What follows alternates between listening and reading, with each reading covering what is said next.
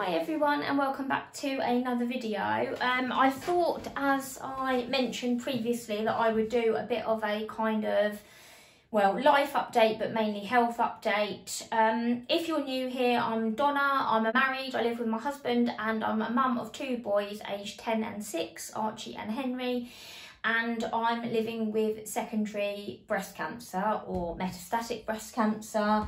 Um, various other names for it um, which basically when you get to that stage it's not curable. They can treat it for um, you know hopefully a very long time.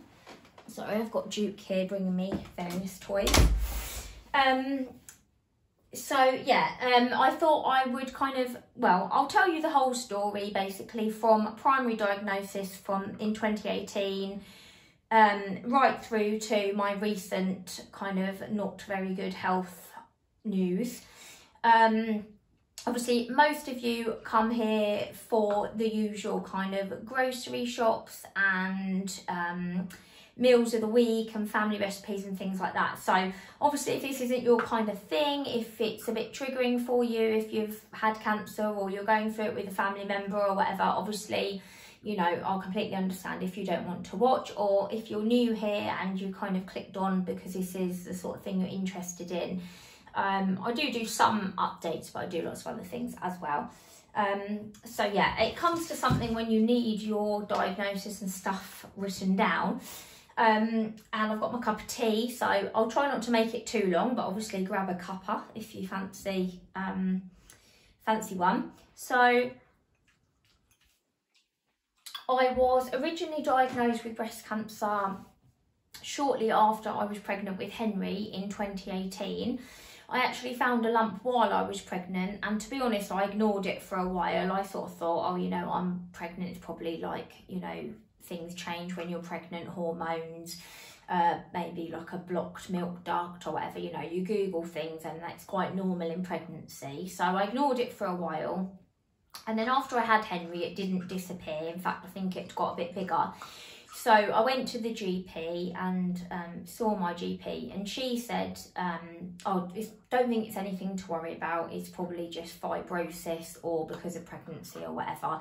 We'll just like leave it and monitor it." So off I toddled. I thought, "Oh, great, it's what I thought it was." Left it for a few more months, and it had sort of got bigger um, so I decided to go back to her and she was actually really good. She said, well, if it hasn't disappeared, you know, now it was a few months ago that, you know, you were pregnant, we'll send you to the breast clinic just to get checked out. But she still didn't think it would be anything to worry about. So I went off to, and they do an ultrasound first. So they did the ultrasound um, and I think they did a mammogram as well at the time. And um, you can kind of gauge the vibe in the room and it didn't seem like they were very sort of happy about what they could see on the ultrasound. Um, but they don't sort of tell you anything. So they said, oh, you know, the results will be ready. We'll send you along to, you know, the breast clinic to get your results. So I think it was about a week or so. It wasn't very long. Um, we got called in and obviously I got given the news that it was actually a grade three um, breast cancer in my left side. Um, and then they did a biopsy and they found that it was um, estrogen positive receptor, which basically means it's fed by estrogen in your body, which makes sense because obviously I'd been pregnant and your hormones go wild when you're pregnant. Um, so they basically said that they'd have to basically the lump. Well, I don't know if it was the lump was too big or my boobs were too small to be honest, but they said that they couldn't just do a lumpectomy; they'd have to do a mastectomy and reconstruction. So I had that done and I didn't need any lymph nodes removed or anything. They were confident they'd got everything, but they were like, I will give you six rounds of chemo just in case to get rid of any stray cells and whatever else in your body. So I did six cell, six rounds of chemo and I did the cold cap. So I kept my hair that very first time. Um, and then I, you know, I got, I finished the treatment or whatever, and I thought, oh, that's, you know, hunky dory, six months or whatever, and, you know, it's done and dusted they said I'd have to go for six monthly infusions of like a bone medication because um, having sort of estrogen blockers and whatever put me in like medical menopause and obviously I'm a lot younger. I was, I was 30 at the time so I was a lot younger than menopausal age. So they said oh six monthly you'll come and get this bone strengthener and I thought well that won't really interfere with much. So that was all sort of done and dusted um, Archie went started school. I got a job in a nursery, and um, Henry came along with me to the nursery and um, yeah, was just getting on with life. Then we moved to Surrey my husband, got a job in London, so we moved here. And um, I started doing my teacher training at the junior school that I work at, and I got halfway through my training, and it was um, well, I think it started before. Yeah, it started before Christmas. It was about October, November time, I remember I was in like a staff meeting and I was sort of really uncomfortable how I was sitting. I had like abdominal pain. Um, and then like I had shoulder left shoulder pain, which I now know is referred pain, but um, at the time I just thought I'd like pulled something, or it's where we'd been like sitting listening to the training or whatever. Um, and I kept saying to all my colleagues, "Oh, I think I'm eating something that's like not agreeing with me." Um, so when I went to the G, my nurse to have the hormone injection that I was having to block the estrogen, I said to her, "Do you know anything about like food allergies and whatnot?" And she said, "Oh, a bit. What's the issue?" So I explained to her, and she said, "Oh, I'm not too sure. It could be like gluten or IBS or something." But she said, "Given your history, we better run some bloods." So luckily, she did some bloods. She's lovely. And and um she got the doctor to come in and check me over as well.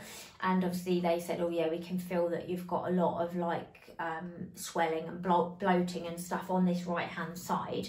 So they did the bloods and then the bloods came back and actually I can check my bloods like on my online account. And as soon as I checked them I went into panic mode because all of my liver markers were like off the chart high like everything was in red like it was meant to be like 30 and it was like well in the hundreds and stuff. So I knew something was wrong.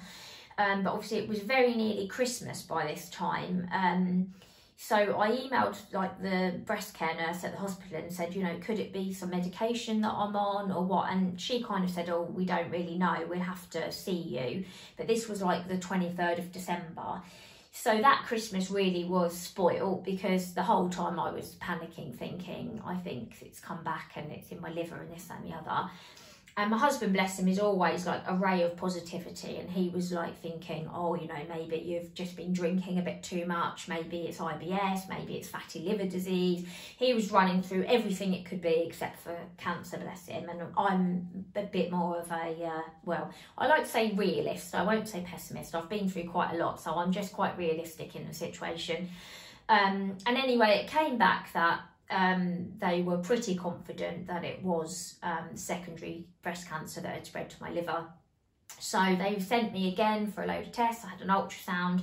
That showed that, yes, they were confident it was cancer. In fact, there was a lot of it in my liver. I think over half of it was like tumours. Um, and so they did a liver biopsy, which is possibly one of the worst things I've had done. They obviously numb the area, but you are awake for it and it is painful. Um, so I had that done, and that came back and actually showed that it was it was cancer, um, but the cancer had actually been quite sneaky, and not only was it estrogen fed, it was also now HER2 positive, which is a different kind of protein that it feeds on. So that's basically the way it had got around. Even though I'd been on this all this hormone stuff, it had managed to worm its way around and find something else to feed on. And then they did a whole body scan and actually they found that it was in my liver, but it also spread to quite a few of my bones. So I've got cancer in my pelvis, my ribs, my spine, and I think there's a bit in my leg or somewhere else. Um, so um, basically it wasn't curable so I was going to be on this um, chemo so they started me on a chemo and they did a reduced dose because my liver was in such a bad way um, but unfortunately, that was still too much really for my body to process. And I ended up in hospital. Well, first of all, I was at home for a long time. My mouth got all infected. I couldn't eat or drink. I stuck it out at home for a few days and then it got to the point where I wasn't even drinking. So I was like getting like dizzy and delirious and really not well. So um, my husband took me to A&E and they straight away um, pumped me full of like antibiotics and fluids and everything else, painkillers. Um, and it turned out that I'd actually got like an infection of the mouth and throat, which they call mucositis or something, um, and also um, sepsis. So I ended up staying in hospital for about 10 days. I had to be tube fed because I couldn't swallow anything. I stayed in for about 10 days um, and then they sent me home with a load of kind of like protein shakes and stuff that I could drink and lots of mouthwashes, painkillers and whatever else. And I it took me a couple of weeks, but I sort of recovered at home. Um, I had done the cold cap for that one, but um, obviously because it was so much chemo for my body to tolerate, I did end up losing my hair on that occasion. Um, I'll put in some like pictures and stuff at the end from like my journey if anyone's interested.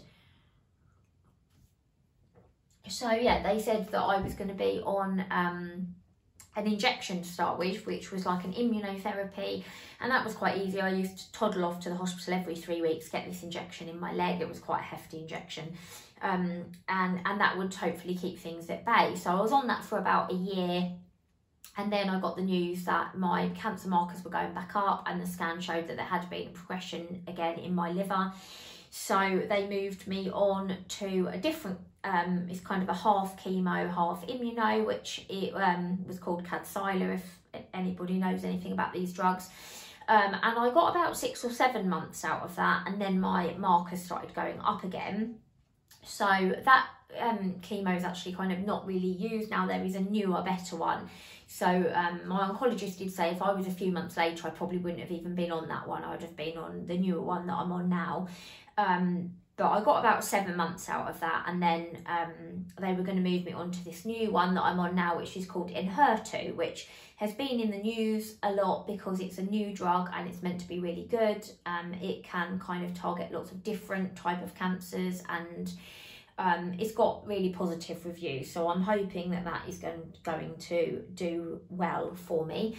Um, but my oncologist there was retiring, so they were moving me over to a different hospital it's a cancer centre that I go to and um, I've got a new oncologist um, and he sort of said, oh, you know, when did you have your last brain MRI? And I said, oh, I haven't had a brain MRI. I've not had any um, any side effects or anything. So I've only had CT scans.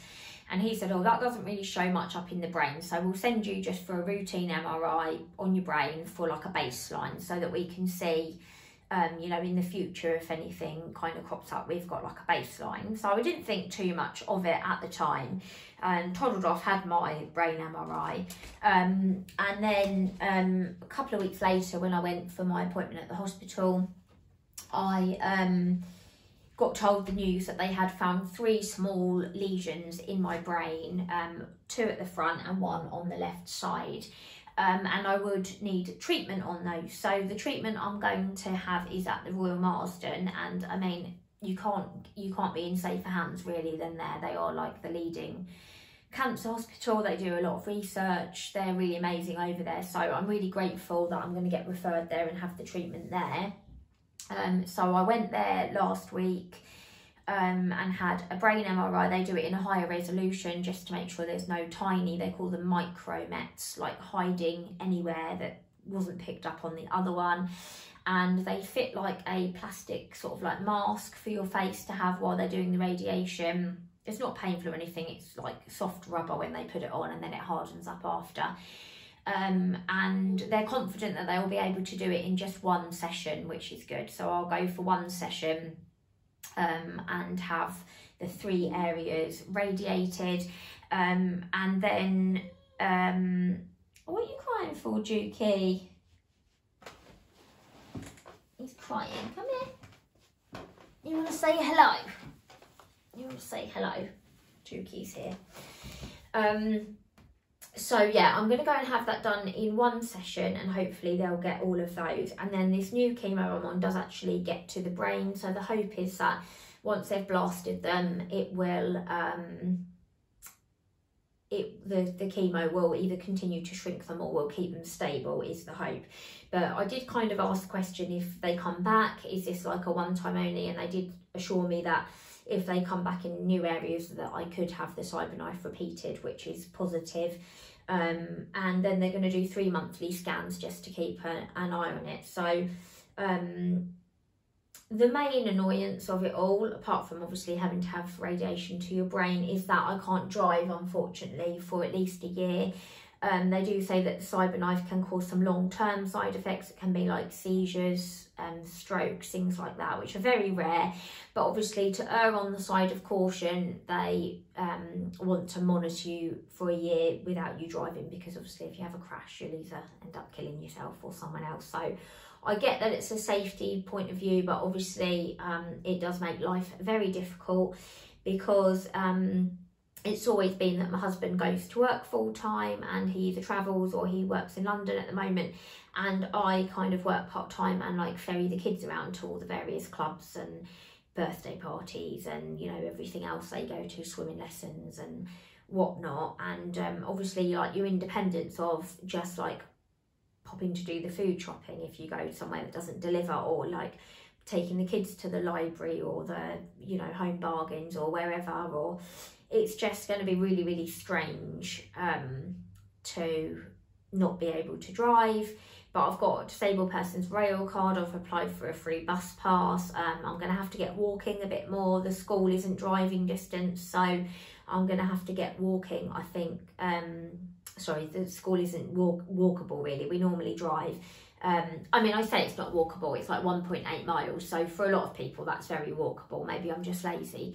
But obviously, if you're not feeling the best, that's quite a long way to walk. So we're going to try and juggle it, I think, where my husband does some some lifts and I do some walking and whatever. But um, yeah, it's not the best news, but um, I had a break from YouTube for a week or so just to get my head around things. I was just feeling a bit miserable and wasn't really in the right frame of mind to kind of come on and be chirpy without kind of saying what was going on and, and whatnot. So I took a week. So thank you all for your comments. I really appreciate it. All sending like your love and your well wishes and whatever and saying to take care. Um so but yeah, I, I enjoy doing it. So, you know, I'm gonna carry on doing it. But obviously there might be some rather lazy dinners some days if I'm not feeling great or I might, you know, miss the odd video or whatever. But um yeah, that's kind of the update. So you know, just really to say without like banging on, obviously, if you've got anything that you've been ignoring, like go and get it checked. If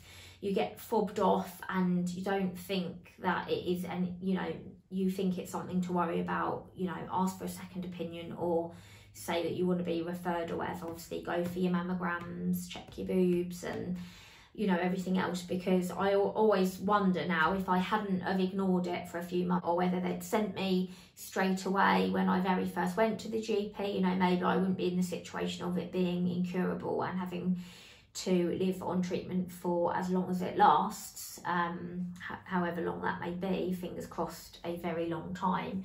I'm hoping that the you know I can outrun the tiger and the um, research is getting better and better. So but yeah, self advocate if there's anything you're worried about, and um, if anyone is going through, um, well, anything really, cancer or secondary cancer or whatever, and or I've mentioned any chemos or anything that you're going to be on or whatever, feel free obviously to comment or leave me a message, or I'm on Instagram.